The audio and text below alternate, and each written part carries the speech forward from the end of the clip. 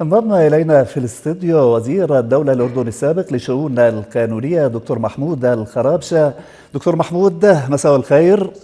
اليوم السابع للهدنة شارف على الانتهاء. حتى ولادته كانت عسيرة قبل دقائق من انتهاء الهدنة. أقر اليوم السابع لهذه الهدنة. هل تعتقد أن هذه الهدنة قابلة للتمديد. الجهود الأمريكية القطرية المصرية ستفلح ربما بتمديد الهدنة وأن يكون هناك إطلاق سراح عسكريين يقابله من هم فوق سن القصر. يعني الحقيقة شكرا. الحقيقة كما يبدو أن الهدنة قابلة للتمديد. خاصة أن هنالك تصريحات من قبل القيادة الإسرائيلية باتجاهات مختلفة وهنالك أيضا إشارات واضحة من وزير الخارجية الأمريكي بلينكون الذي يقول بأن تمديد الهدنة يزيد عدد الأسرى الذين يتم إطلاق سراحهم من ناحية ومن ناحية ثانية أيضا يسمح بإدخال المواد والمساعدات الإغاثية والطبية والتي يحتاجها أبناء غزة خاصة فيما يتعلق بالوقود. لذلك يعني الأمر الحقيقة يخضع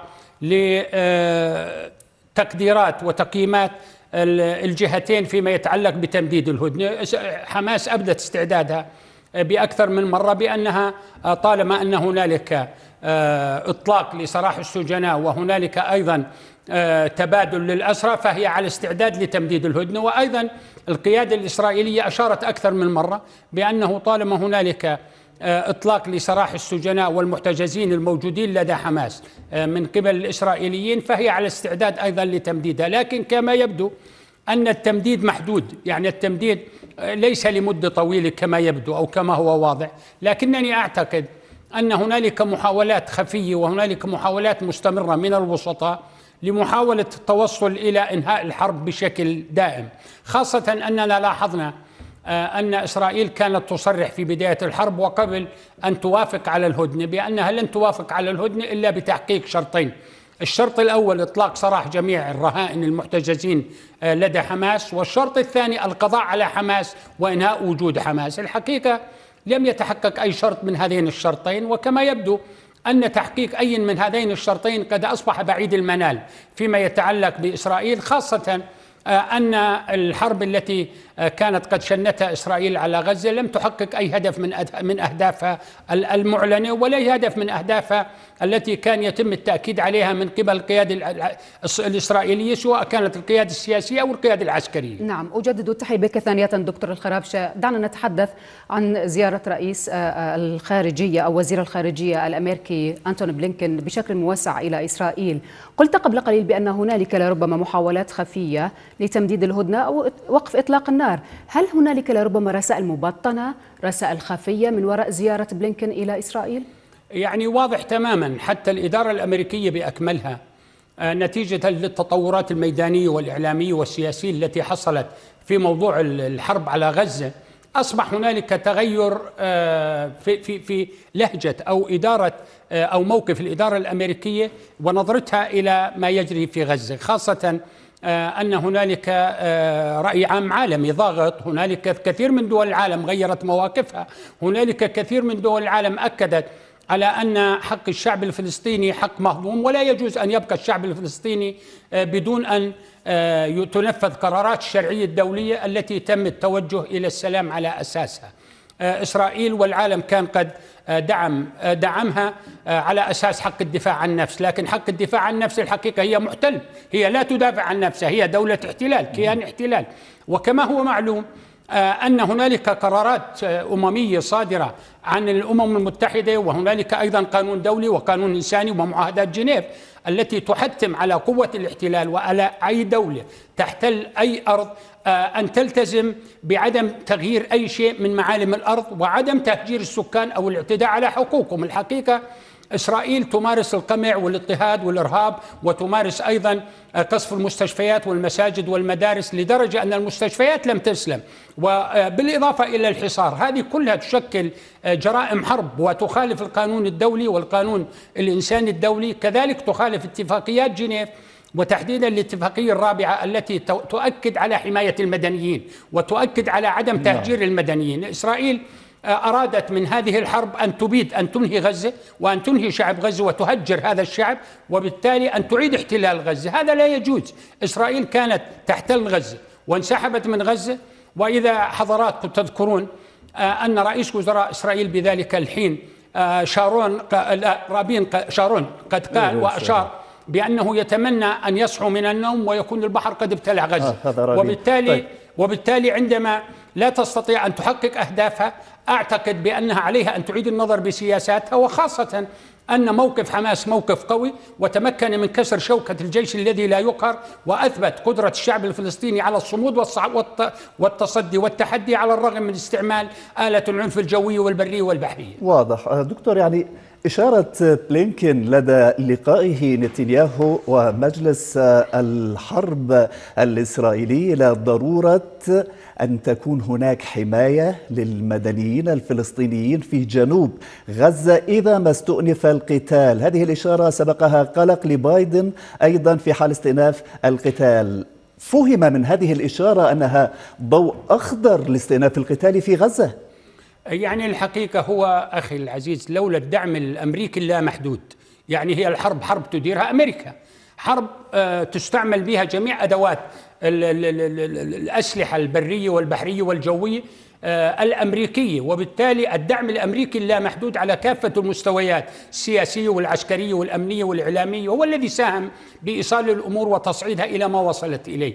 لذلك كان هنالك إشارات واضحة. يعني بلينكون عندما جاء للمرة الأولى إلى المنطقة كان قد صرح وقال بأنه لم يأتي كوزير للخارجية لزيارة المنطقة بل, بل جاء كيهودي كان جده قد هرب من القتل. وبالتالي نحن لا نستغرب أن, أن يكون موقف الإدارة الأمريكية سواء بايدن أو موقف وزير الخارجية الأمريكي داعم ومؤيد لإسرائيل. التصريح الذي أطلقه يعني على الرغم من كل الاحتمالات هو يقول بأن الإدارة الأمريكية ستدعم إسرائيل سواء تجددت الحرب أو لم تتجدد. لكن أنا أعتقد أن حجم الخسائر التي منيت بها إسرائيل وحجم الضرر الذي لقيته سواء كان من حيث الجنود أو من حيث حجم الصدمه الأولى التي تلقتها يحتم على الإدارة الأمريكية ويحتم على إسرائيل أن تتخذ القرار بعيدا عن بعيدا عن الانفعالات لأن هذا سيرتب عليه آثار كبيرة جدا وستكون ردة فعل أيضا من حماس أقوى مما كانت في في شمال غزة لأنه حماس أيضا لديها إمكانياتها ولديها قدراتها والآن حماس تحظى بدعم وأسناد من قبل فصائل المقاومة الفلسطينية. ومن ثم أيضا إسرائيل والإدارة الأمريكية عليها أن تتوقع أن أن يمتد ال ال ال الاحتجاج والعنف والحرب إلى الضفة الغربية وكذلك جنوب الجنوب اللبناني. وبالتالي هذه تملي أن يكون هنالك قرار يتم اتخاذه بروية وهدوء بعيدا عن الانفعالات.